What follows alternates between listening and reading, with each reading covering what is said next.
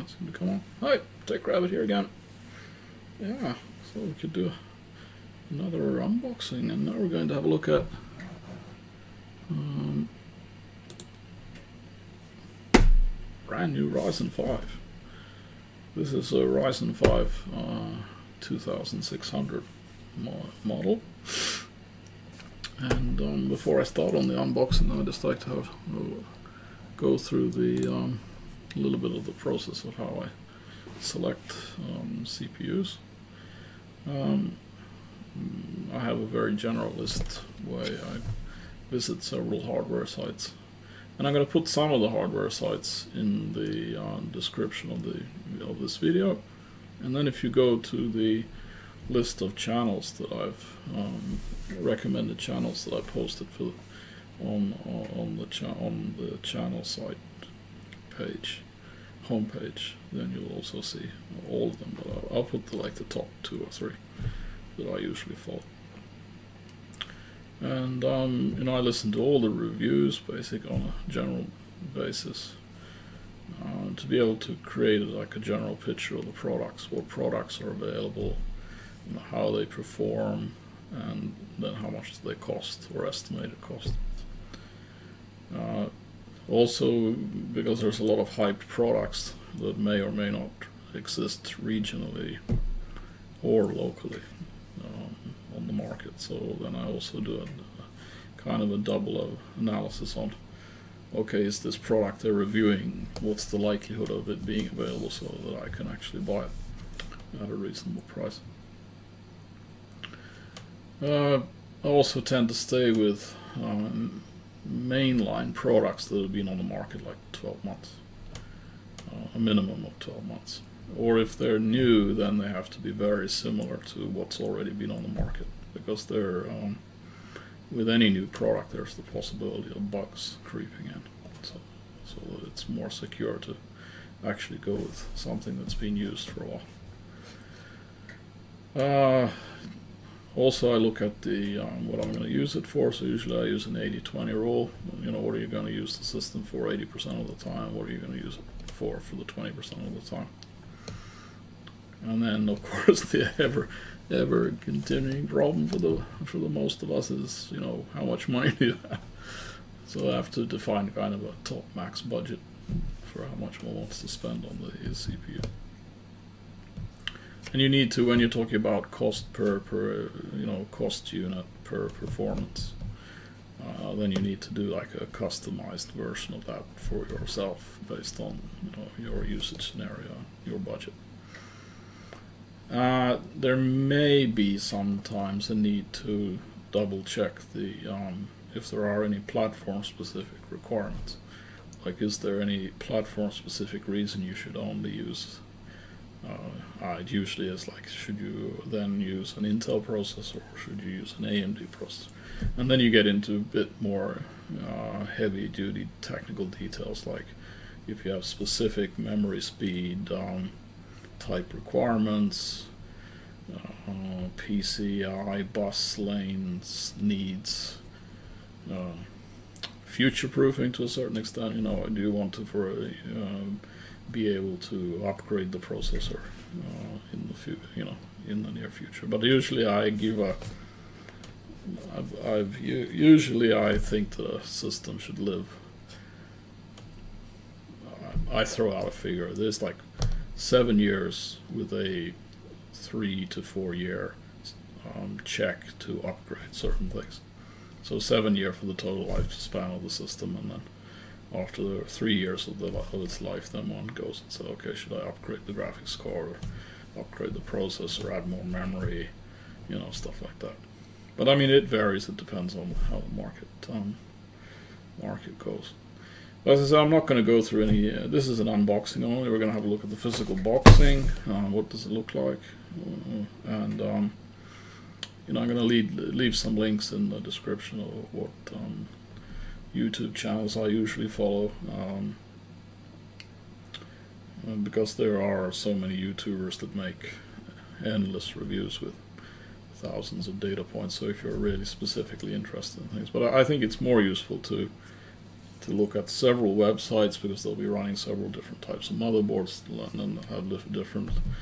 Um, they they they will um, tell you what their own opinions, summaries of how, how they feel about the product. And this is actually uh, this uh, Ryzen 5 2600 model has, or even the 2500 has been nominated to be like the king of the mid-range right now. So um, it's actually one of the first times that I'm buying an AMD processor. Um, I used to use AMD when I was younger for quite a long time, and then AMD basically lost the game to Intel, and then I've been using Intel ever since. And now it's basically the first time that I'm coming back to AMD, but thinking they actually have a good value proposition that, that actually has a future. Um, I can't say that I'm a fanboy because you know if you know if Intel comes out and wins the game and, and, and meets all these, you know I, I, I go through my review process and then I find out that Intel's better, then I'll take Intel. I, I, I I'm I'm not sort of dedicated to one or the other because it's what's the point? I mean, it's a competitive, hopefully now a competitive landscape. But anyway, let's um, I, I say like we get into the unboxing and see what this actually looks like. So that's the actual model. I wonder if I should just roll out, give the basic specification information anyway. Let's see if I can find the page. Actually, I opened it here. So let's see. I'm sorry, I should have actually moved the web page around. So now, can't. No, no, I think I found it. Just a sec. So we got some basic. Okay, it's got six cores. 12 threads, um, 16 megabytes of cache. L3 cache is 60 megabit, megabytes. Uh, 3.4 gig base frequency. You can turbo it to 3.9. We'll see how that goes. It's 12 nanometer technology. And this is very interesting. It's actually only 65 watts.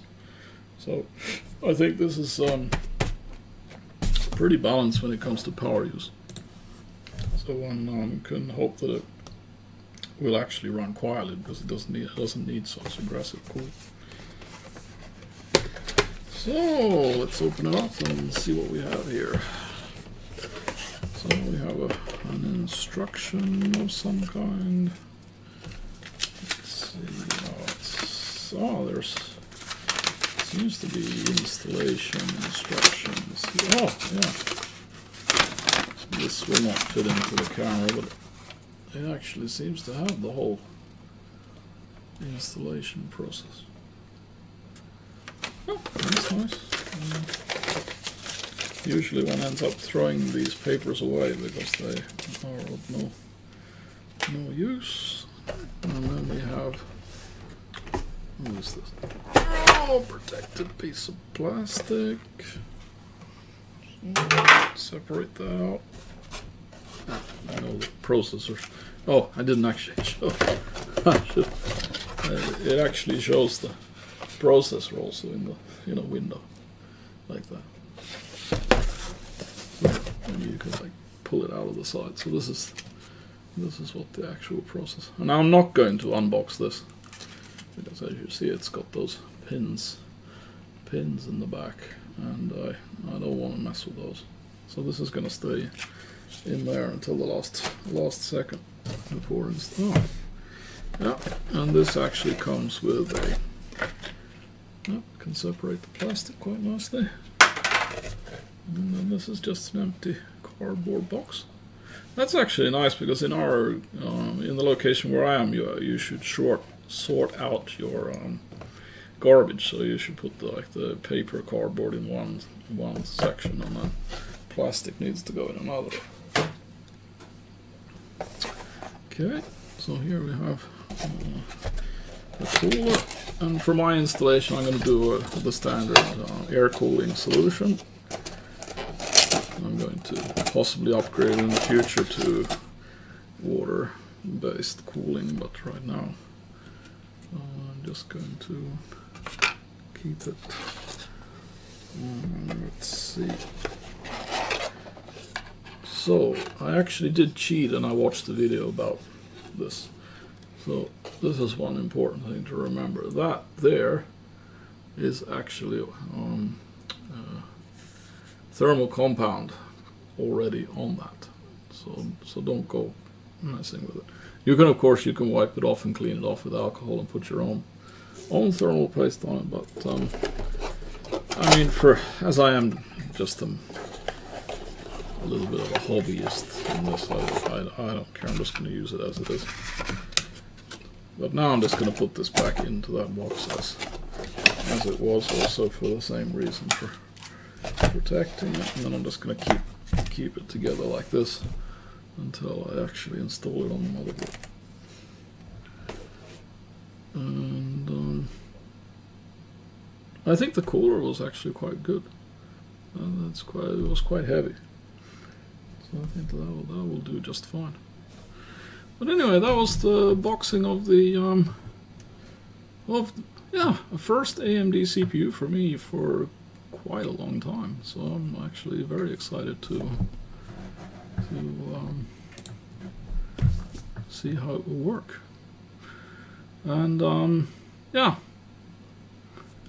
in many ways to and and then of course the sad thing with any electronics you know the day you buy it it's already out of date. So then the week after that it'll be something else that's better. So um, one has to also take that emotionally into the into the decision process and um, you know yeah deal with it. So, so maybe if I like I've selected this then probably somebody will come back in the comments like and say, oh, but now it's this model is better. Well, yeah, of course, things evolve.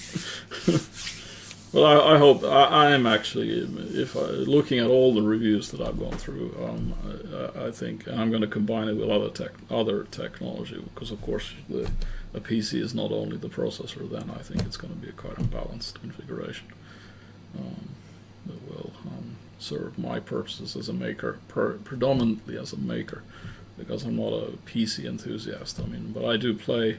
I'm interested in um, gaming a little bit and um, yeah, video editing and, and, things like that. So I think it's going to be, for me, it's going to be more of a general purpose um, computing than um, than dedicating it for one specific task.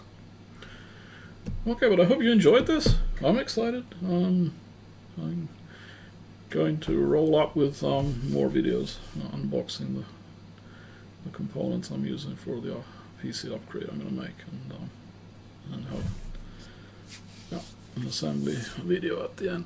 Anyway, okay. See you in the next one.